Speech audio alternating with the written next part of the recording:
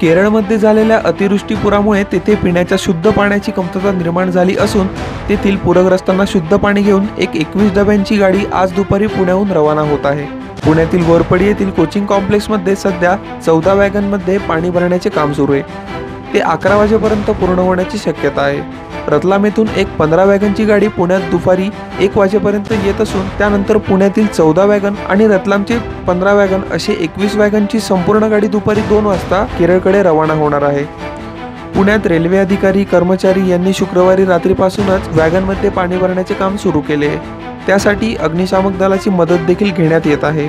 एका वॅगनमध्ये पन्नास हजार लिटर पाणी भरण्यात येत असून एका गाडीद्वारे सात लाख लिटर पाणी पोहोचवण्यात येत आहे.